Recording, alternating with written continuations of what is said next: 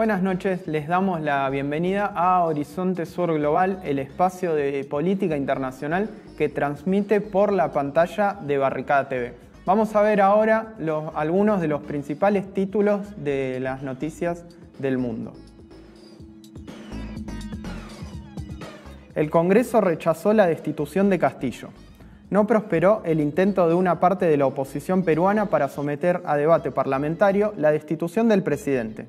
Los partidos Fuerza Popular, Avanza País y Renovación Popular habían presentado un pedido de vacancia contra Pedro Castillo por incapacidad moral. Se necesitaban 52 votos de los 130 legisladores para abrir el proceso en contra del mandatario, pero solo lograron el apoyo de 46. Castillo, que asumió hace cuatro meses, denuncia que está en, marcha un intento de golpe y que es el blanco de una campaña mediática destinada a vincularle a actos de corrupción para sacarlos del poder.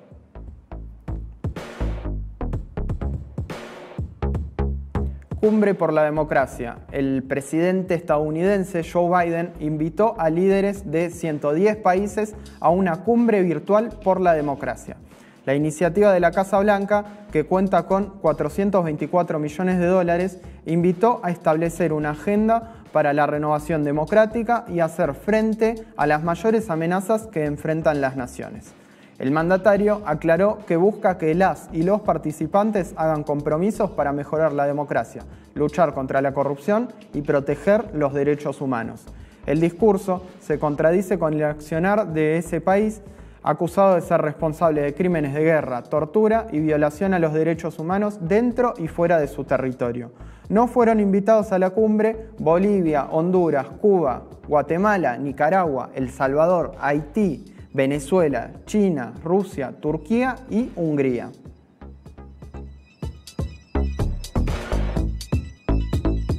Assange puede ser extraditado a Estados Unidos. La solicitud había sido denegada en enero de este año debido a los problemas de salud mental y riesgo de suicidio, pero ahora el juez Timothy Heirolde determinó que el gobierno de ese país ofreció garantías suficientes para juzgarlo en suelo norteamericano. La, decisión puede ser apelada por la defensa del periodista.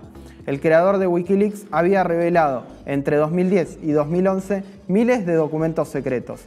En ellos quedaron expuestos los crímenes cometidos por Estados Unidos durante las guerras de Irak y Afganistán, así como las detenciones ilegales y torturas en la cárcel de Guantánamo. Estados Unidos lo acusa de 18 cargos de espionaje que suman una pena posible de 175 años de prisión. La ONU reconoce a Maduro como presidente legítimo. La Asamblea General de Naciones Unidas aprobó este lunes las credenciales de los diplomáticos de los Estados miembros, entre ellas las de los representantes del gobierno venezolano de Nicolás Maduro. Solo 16 de los 193 países se negaron a reconocerlo como presidente legítimo. El embajador de Venezuela ante la ONU, Samuel Moncada, celebró la decisión y la definió como una victoria del pueblo soberano contra las agresiones coloniales de Estados Unidos.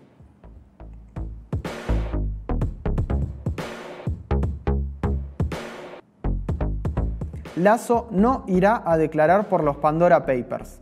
El presidente ecuatoriano anunció que no acudirá a declarar frente a la Asamblea Nacional. La convocatoria, que fue aprobada por 82 de los 137 parlamentarios, se debe a la aparición del presidente en los Pandora Papers como dueño de sociedades offshores. Lazo dijo que enviará un informe a la Contraloría sobre el tema y que por eso no hace falta que asista a la exhortación. En Ecuador existe una ley de 2017 que prohíbe a funcionarios y candidatos presidenciales la tenencia de empresas en guaridas fiscales.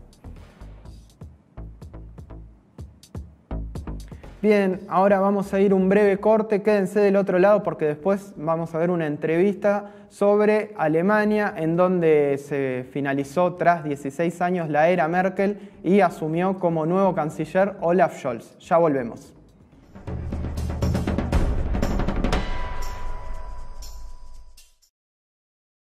Seguimos con Horizonte Sur Global. En Alemania tras algo más de dos meses que se realizaron las elecciones, asumió el nuevo canciller. Se trata de Olaf Scholz, quien fue candidato del Partido Socialdemócrata, el cual se impuso en aquellos comicios de septiembre sobre la fuerza política de Angela Merkel, quien deja el cargo de canciller tras 16 años en el poder. Olaf Scholz es un político de carrera, ocupó diversos lugares, fue alcalde, fue ministro en distintas áreas y en el último tiempo venía siendo el número dos de Angela Merkel, es decir, el vicecanciller de Alemania. Eh, la nueva coalición de gobierno es entre el Partido Socialdemócrata, ganador de las elecciones, los liberales y los verdes, que fueron el tercer y cuarto lugar en los comicios de septiembre respectivamente. Sobre este tema le realizamos una entrevista a Bettina Müller, quien es licenciada en Ciencias Políticas, tiene maestrías en Relaciones Internacionales y además eh, actualmente vive en Berlín. Vamos a verla y después seguimos con el programa.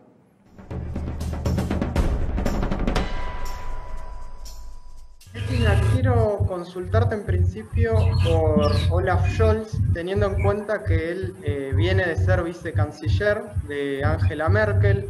Eh, hubo algunos análisis que hacen una lectura de que va a ser una continuidad de la era Merkel. Te quiero preguntar si coincidís en principio con esa lectura.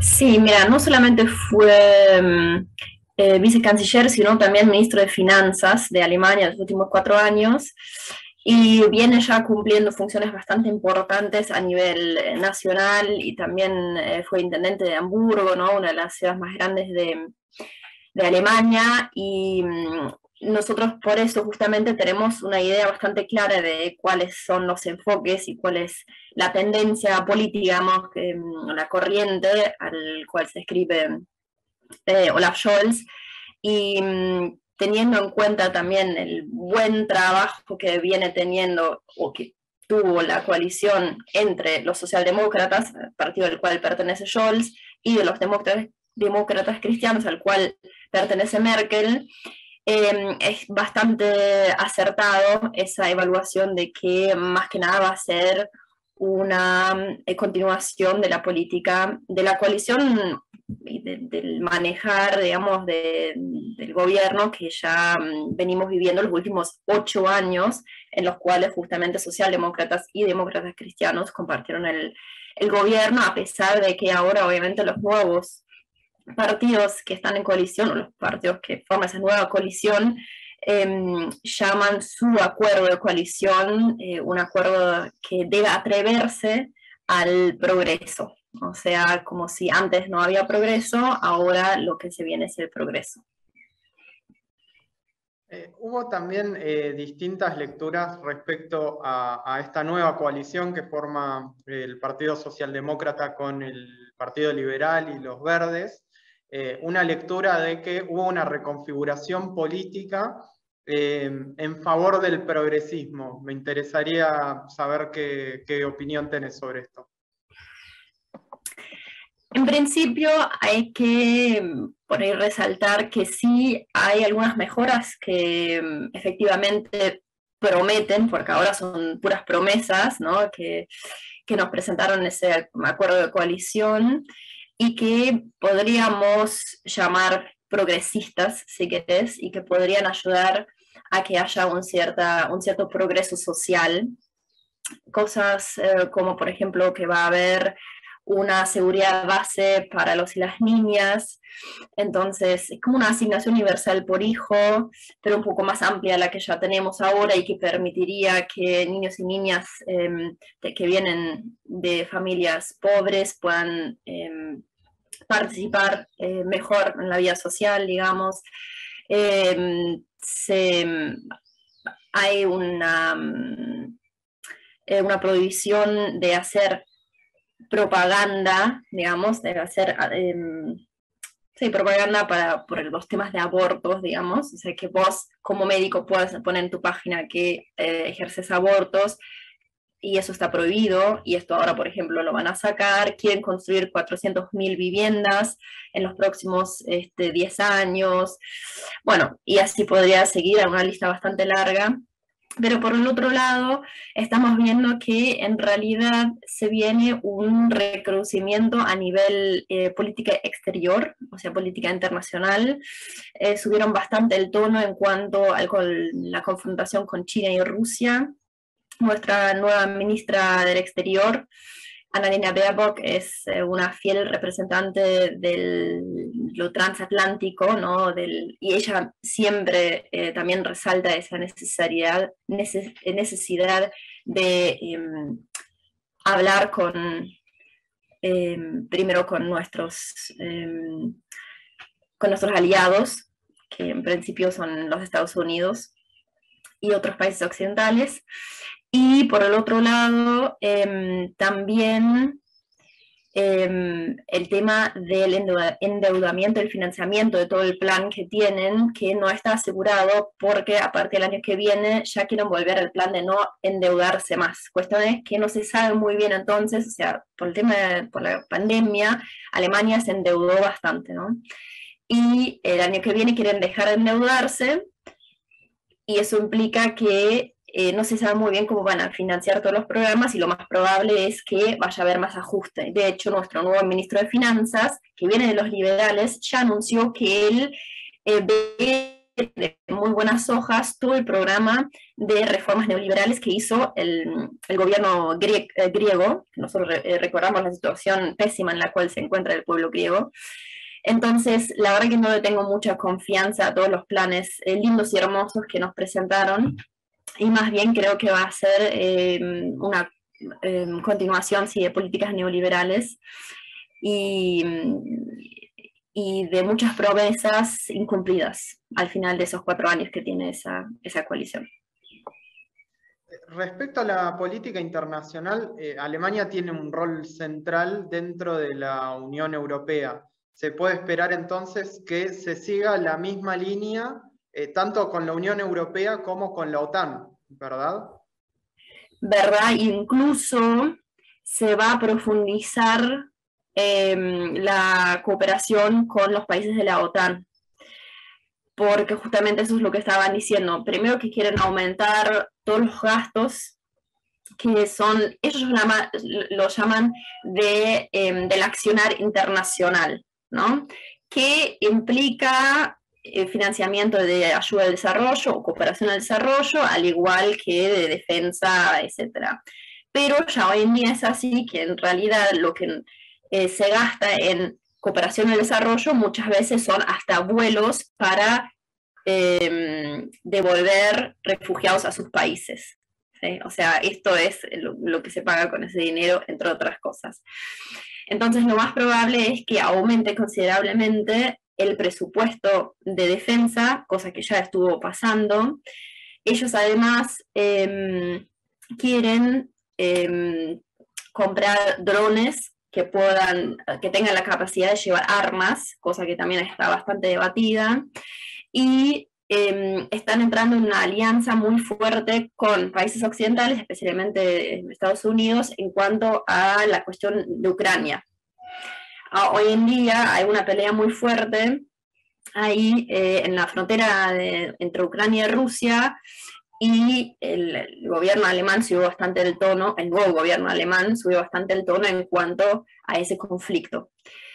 Em, y siempre habla, me anoté esto, de una solidaridad estratégica, ¿no? Eso es lo que nuestra ministra del Exterior ahora está Em, promoviendo la solidaridad estratégica, entonces nosotros tenemos que ser solidarios, aunque por ahí algunos países no nos gusten, pero eh, para frenar esa lucha de sistemas que estamos viendo en la actualidad. Asimismo, lo dice en el acuerdo de coalición, hay una lucha de sistemas, mientras tenemos los buenos sistemas que tienen sus valores, basados en los derechos humanos, etcétera, etcétera. Eh, por el otro lado, tenemos los sistemas de los gobiernos autoritarios, dictatoriales, que son China, Rusia y todos sus aliados. Y em, ahí Alemania obviamente se ubica del lado transatlántico, del lado de Estados Unidos y de los valores de, los derechos humanos y de la OTAN.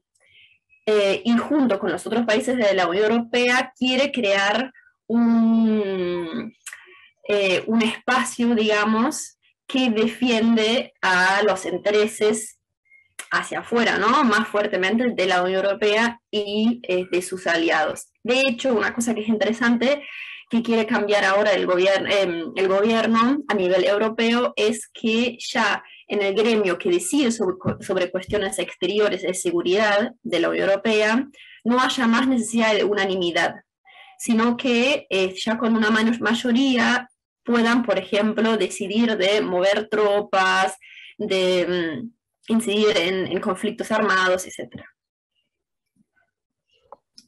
Muy, muy interesante. Eh, recién mencionabas el problema migratorio que vive hoy Alemania. Eh, te quiero pedir que le, cuentes un poco al público, que le describas cuál es la situación actualmente, de qué se trata esta crisis eh, cómo lo venía encarando el gobierno de Merkel y, bueno, cómo, cómo, se puede analizar, por lo menos con los datos que tenemos ahora, eh, que va a seguir eh, el, nuevo gobierno. Es otro punto interesante, muy crítico y criticable en el acuerdo de coalición. Lo que ellos planifican es, por un lado, aumentar la migración de trabajadores y trabajadoras altamente calificadas que necesitamos para poder ir eh, yendo en el camino del progreso, ¿no? Y por el otro lado, frenar la migración de gente indeseada, si querés. Y em, habilitar o promover lo que ellos llaman una ofensiva de devolución, o sea, devolver a los migrantes que no necesitamos a sus países de origen. Y para eso quieren una ofensiva. Eh, que suena medio em, em, eh, belístico, si me preguntas a mí, pero bueno. ¿Belicístico? ¿Cómo es la palabra? Bueno, se me entiende.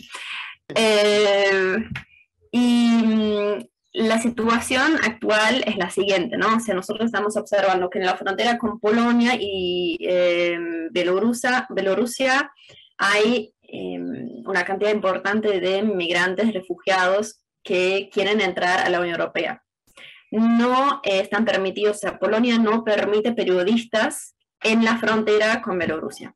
Entonces, en realidad, eh, la única información que tenemos está del lado bielorruso, donde sí se permiten periodistas, obviamente también para demostrar que el, gobierno de Lukashenko está haciendo todo lo posible para que estén en buenas condiciones los migrantes que quieren entrar. Obviamente también esto es un juego de fuerzas, el mismo que hubo en su momento y que sigue existiendo con Em, con el gobierno turco de Erdogan, que también tiene una cantidad importante de sirios, por ejemplo, eh, más de creo que 4 millones, em, que están varados en Turquía y la Unión Europea paga al gobierno turco para que esa gente no pase hacia la Unión Europea. Mientras tanto, sigue em, habiendo todos los días casi información sobre barcos eh, naufragados en el, en el Mediterráneo con cientos eh, de muertes, muertos. Ya hace, no sé, 3, 4 años el número total de muertos en el Mediterráneo era alrededor de 16.000, el número total de muertos, de refugiados alrededor en las fronteras europeas era arriba de los 30.000, entonces nos imaginamos eh, dónde están los números eh, hoy en día. Y los gobiernos europeos están recrudeciendo su política de encierre, si querés, de la fortaleza europea, pagándole más a los servicios que controlan esas fronteras y em, intentando hacer negocios y llegar a acuerdos con gobiernos que controlan o sea, eh, en las costas del Mediterráneo, del lado africano, con Turquía, bueno, con Bielorrusia no se puede llegar, entonces em, también por eso hay eh, una pelea muy fuerte ahí ahora con, el, gobierno de Lukashenko. Y mm, al mismo tiempo no se pregunta, bueno, pero ¿por qué esa gente está teniendo que huir de sus países? Porque se está hablando muy mal del gobierno Lukashenko y de toda esa situación de los refugiados, pero todos esos refugiados son refugiados, muchos que vienen de Afganistán. Afganistán, donde durante 20 años Alemania y aliados em, tenían tropas estacionadas que hace poco em, sacaron del país. Entonces ahí hay mucha hipocresía Y la situación de los refugiados en realidad en Alemania ¿no? ya no es como en 2015, donde tenías muchísima gente también por la pandemia del corona, eh, se frenó bastante la llegada, pero no obstante es una cuestión que no está resuelta y no está resuelta en las fronteras europeas. Y ahí también este, el nuevo gobierno más bien viene a recrudecer el manejo y no a aliviar la situación. Claro, claro. Eh, quiero volver un poco al tema electoral. Eh, lo que trascendía, al menos en los medios de comunicación, es que Merkel dejó el gobierno con una alta valoración, con una imagen positiva entre buena parte de la población. Eh, te quiero preguntar por qué pensás que, no, que esa valoración positiva no se trasladó en votos a el candidato de su partido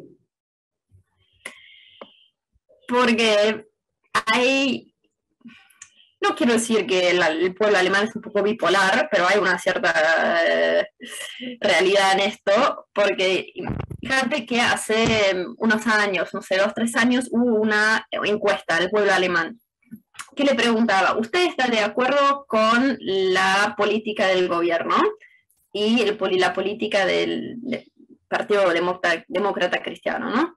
que estaba en el gobierno? Y creo que el 30-40% decía que, em, que estaba de acuerdo, el resto no. ¿Usted está de acuerdo con Angela Merkel como cancillera y la política que lleva adelante? El 80% de la población decía que sí. Y ahí te hago la pregunta. ¿Merkel en ese momento estaba en el gobierno, sí o no? Obviamente que sí. Entonces uno se pregunta, ¿cómo puede ser?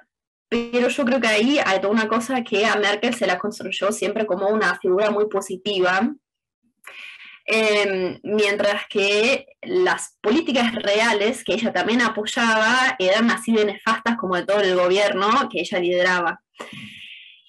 Pero siempre lograba, se le dice muy, ella es muy oportunista, y hay muchos em, comediantes, digamos, alemanes que hacen sátira política, que justamente eh, siempre la cuestionan por eso, porque ella es como, viste, una banderita en, el viento, se le decía, bueno, hoy es así, mañana es así, y si el pueblo dice esto, bueno, hoy hacemos eso, pero mañana cambiamos y hacemos lo otro, y siempre pudo, como una serpiente, eh, salir de los grandes escándalos políticos en los cuales ella también estaba involucrada, pero siempre lograba que no le afectaban esos, estos escándalos y no le afectaban la imagen. Yo creo que también tiene que ver en cierta medida con que los medios grandes siempre la cuidaban, de alguna forma la protegían.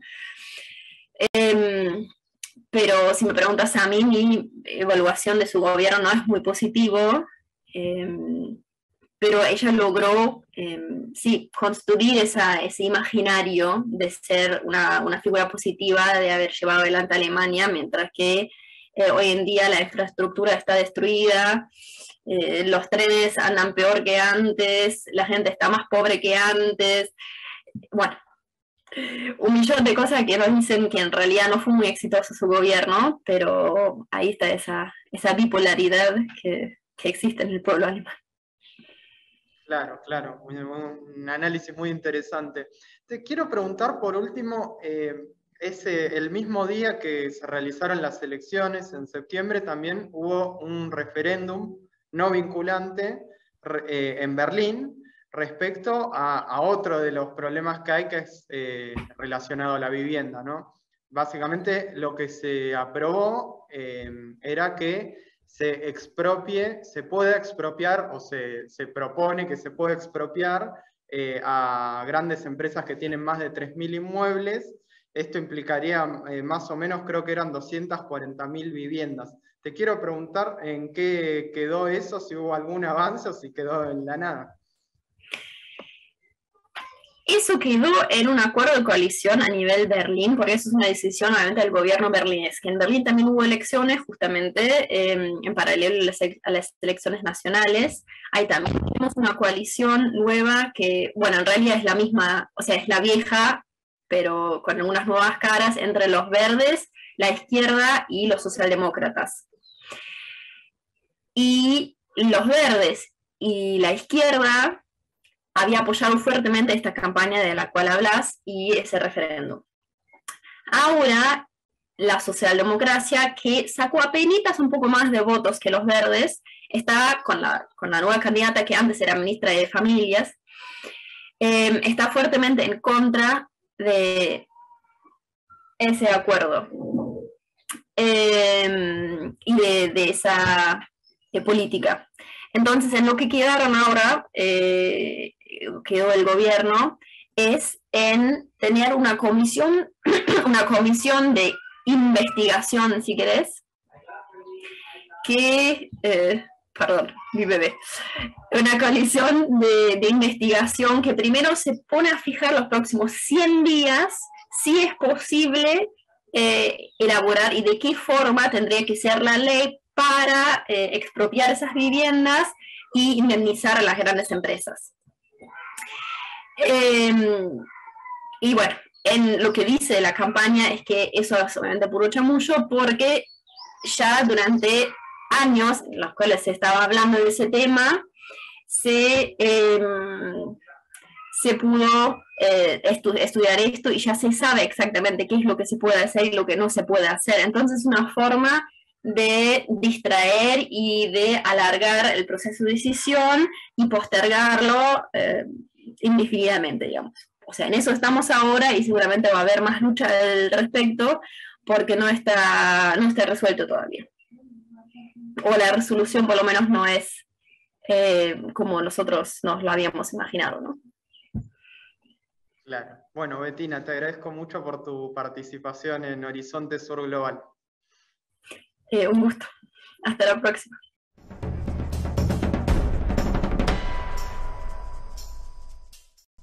Seguimos con Horizonte Sur Global. Los presidentes de Estados Unidos y de Rusia, Joe Biden y Vladimir Putin, tuvieron una reunión virtual en la que, según informaciones oficiales, hablaron sobre el conflicto fronterizo en Ucrania.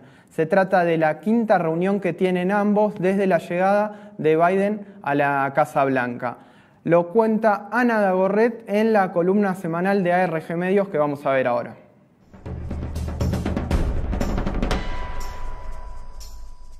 Buenas noches compañeras, compañeros de Barricada TV, buenas noches también a toda la audiencia.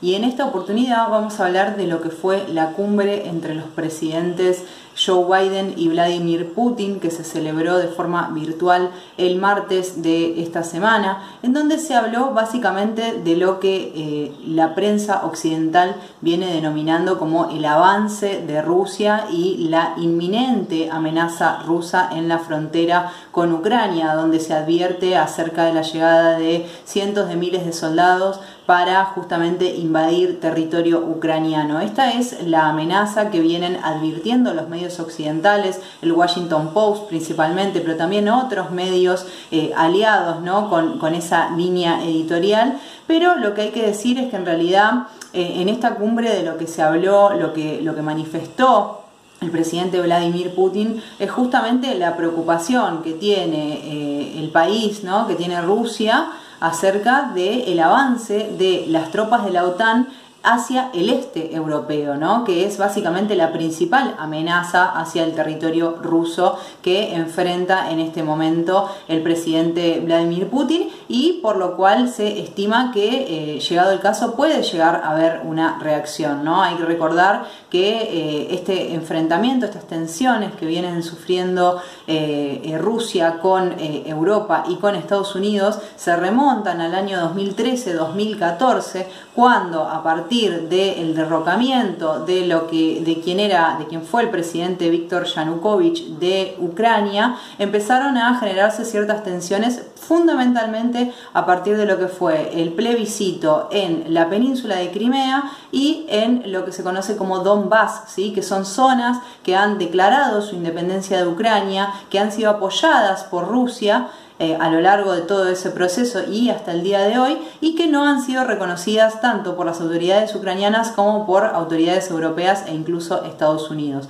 Es a partir de ese enfrentamiento que eh, se empieza como a generar esta tensión entre principalmente Rusia y las fuerzas de la OTAN y es a partir de ahí que empezamos a ver justamente esta especulación acerca de la posibilidad de Ucrania ingresar como miembro pleno de la OTAN, algo que todavía no ha sucedido, pero con lo que Ucrania viene coqueteando, ¿no? Eh, con cierta intención y eh, obviamente con cierto apoyo, con cierta... Eh, con cierta fuerza también por parte de las potencias europeas que ven en Rusia una amenaza a su soberanía. ¿no? Entonces, en esta oportunidad, esta cumbre entre ambos líderes, el debate estuvo principalmente centrada en esa cuestión, en lo que es el avance de la OTAN hacia el este europeo y también lo que hay que decir es que si bien no hubo ningún compromiso concreto en relación a el cese de las hostilidades para con Rusia en la frontera eh, ucraniana,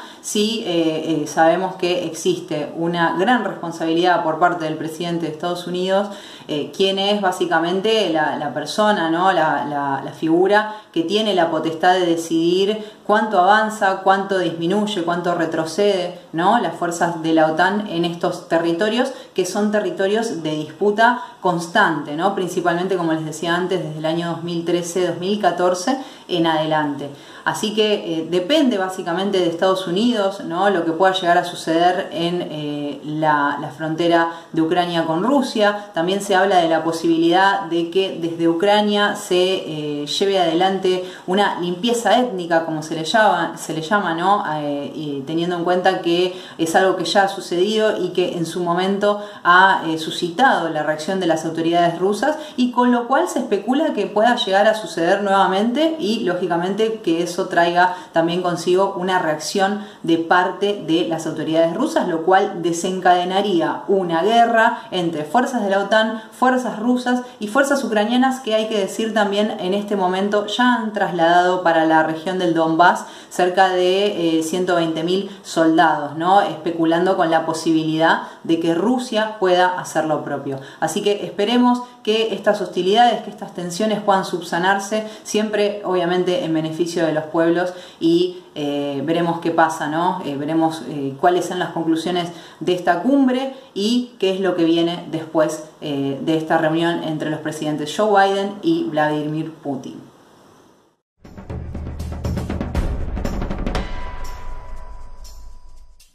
Estamos llegando entonces al final de Horizonte Sur Global. Recuerden ver este programa por la pantalla de Barricada TV todos los viernes a las 22 horas. Nos pueden ver por nuestro canal de YouTube, también por la aplicación Barricada TV que pueden descargar desde sus celulares o por el 32.1 de la televisión digital abierta. Gracias y nos vemos la próxima.